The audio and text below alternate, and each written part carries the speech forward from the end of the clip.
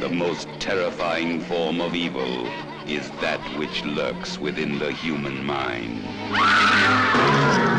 Asylum. The ultimate in horror. This is a, an asylum for the incurably insane. Asylum. Filled with stark, raving terror.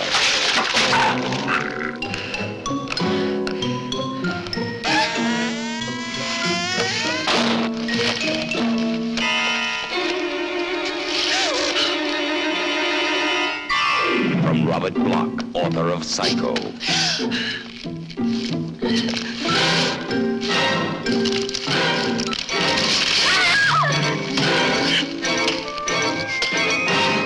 Asylum.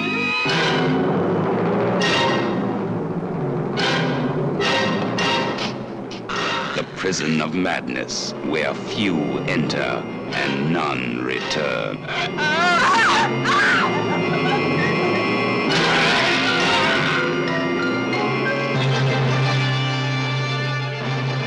Asylum.